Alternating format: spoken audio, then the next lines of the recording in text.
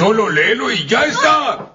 ¿Qué onda gente? ¿Cómo andan? Volviendo a abrir el baúl de las películas viejas de Cartoon Network me encontré con Alpha y Omega, una película del 2010 que tuvo como 8 secuelas. Yo no entiendo cómo a alguien se le ocurrió que esta historia podía dar para 8 películas, pero a alguien se le ocurrió. Bueno, igual no sé de qué me quejo, por lo menos no es como Pie Pequeño en busca del Valle Encantado que tiene como mil películas. Literal tiene películas desde los 80 hasta el 2006. Bueno, no importa. Vamos a lo que vinimos. Alpha y Omega. La película gira en torno a dos lobos. Humphrey y Kate. Ellos son amigos desde siempre y tienen una especie de atracción. Un día Kate le dice que se va a ir una temporada para entrenar y convertirse en un lobo alfa. Cuando vuelve se entera de que se tiene que casar con un lobo de la manada rival para unir a las manadas y que no haya tanto quilombo. Humphrey le hace una escena de celos y eso lleva a que los dos sean capturados y reubicados en otro bosque. Así que ahora van a tener que buscar la forma de volver a casa antes de que las manadas se maten entre sí. Bien, ya tenemos la trama. Pero antes de hablar de los personajes y todo eso, quiero señalar un par de errores que vi por ahí. Esta transición está rara, o sea, el fondo desaparece antes de que Kate lo haga es medio. Es medio raro. Y la película fue hecha para verse con lentes 3D. Entonces hay muchas veces en la que los personajes van directo hacia la cámara. O tiran cosas hacia la cámara. Y si no tenés unos lentes 3D para ver esto, entonces se siente como muy invasivo y feo. Muy feo. También hay un error de renderizado cuando los protagonistas salen de abajo de la camioneta. Porque es como que salen arrastrándose. Pero en un momento siguen arrastrándose y no se mueven. Y es como. ¿Por qué dejaron pasar esto en la película? Con razón tiene la productividad para sacar dos secuelas el mismo año. También hay algo que hacen que se llama Aullado a la Luna. Que es cuando dos lobos van a una especie de piedra gigante y le aullan a la luna. Eso como para mostrar que están enamorados. No, no sé bien cómo funciona, pero sé que es algo así, algo sobre el amor. Es como. Es como ir a una fiesta, es como. Es como una fiesta de lobos. Pero ¿por qué estoy destacando esto? Porque cuando te presentan el aullido a la luna, es la cosa más furry y rara que vas a ver en tu vida. Mira cómo bailan esos lobos. Esa, esa no es una forma en la que bailaría un lobo. Se supone que esta es una película infantil, ¿por qué estoy viendo esto? Lo peor es que muchos de los personajes andan con el gallo apuntando al sol, como los amigos de Humphrey, por ejemplo. Y estos tres pibes son como nada.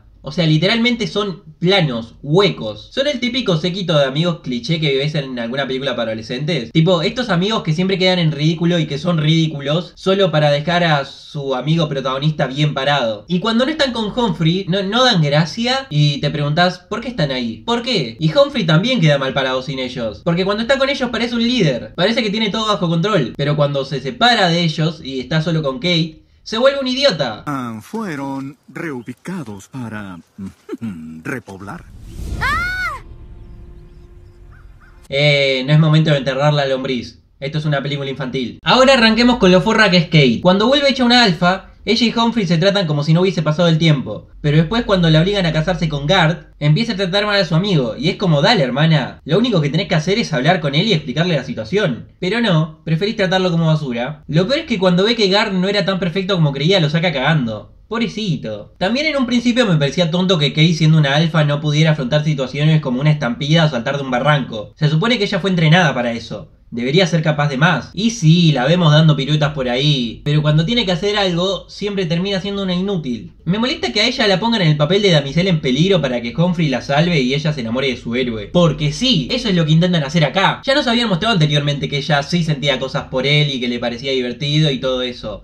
O sea, podían desarrollar algo de esa base sin la necesidad de ponerla a ella en peligro para que él la salve y ya está. Porque se supone que nos presentaron a Kate como eso, como una loba entrenada. Y Humphrey no tiene ese entrenamiento. ¿Por qué es él el que casi siempre la salva? Y sí, Kate salva a Humphrey un par de veces. Pero esas veces no son nada comparadas a las veces que él la salvó. Pero bueno, sacando esos momentos de heroísmo podemos sacar más cosas donde ella sienta algo por él. Vamos a centrarnos en esta primera vez que bailaron juntos. Aunque haya sido por accidente, un momento es un momento. Después esa misma noche cuando ella dejó de preocuparse para divertirse un poco junto a él. No quiero destacar este momento donde ella cree que él murió porque creo que cualquiera reaccionaría así por un amigo. Pero él verdaderamente hizo un esfuerzo para hacerla reír, para que no esté tan preocupada. No son tan diferentes. Son similares, se complementan y tienen una excelente química juntos. Pero pese a eso, no me gustó el final. Cuando vuelven con la manada, Kate se va a casar y Humphrey decide que va a viajar por el mundo viviendo como un lobo solitario. Es triste, pero es la mejor decisión para mantener la paz. Y Kate lo sabía. Pasó toda la película pensando en eso, teniendo pesadillas con que todos los que conoce se mataban entre sí porque ella no estaba ahí. Pero al final decidió cancelar todo último minuto. Su plan era abandonar a todos e irse de la manada con Humphrey. Al final la familia, la hermana, todo por lo que luchó lo tiró a la basura por andar de alzada. Hubiese sido mejor si Humphrey llegaba a tener la voz de último minuto porque él se había arrepentido de irse. había vuelto a buscarla. Pero no, porque al parecer tenían otros planes para Kate y prefirieron cagarse en su personaje, moldearla en base a lo que la trama requería. Pero bueno, ya que hablamos de Alpha y Omega, vamos a hablar de Omega y Alpha. Cuando nos presentan a Guard, parece egoísta y arrogante, pero no porque lo sea, sino porque buscaba impresionar a Kate. Él sabía de mucho antes que ellos se tenían que casar y estaba ilusionado con eso. Por eso intentó parecer perfecto ante ella. Incluso sabiendo que es malo para huyar, hizo un esfuerzo y se puso mal cuando la espantó. Y cuando nos presentan a Lily, la hermana menor de Kate, nos la presentan como una chica introvertida y tímida, pero se sintió inmediatamente atraída por Gard ni bien lo conoció. Por eso, cuando su hermana desaparece, ella se ofrece para acompañarlo en lo que la otra vuelve. Pero me pareció bastante estúpido que la dejaran hacer eso, ya que más adelante hacen quilombo porque una alfa y una omega no pueden estar juntos. Pero bueno, la relación de estos dos es auténtica y bastante tierna. Wow, ¿qué? Tus ojos son hermosos.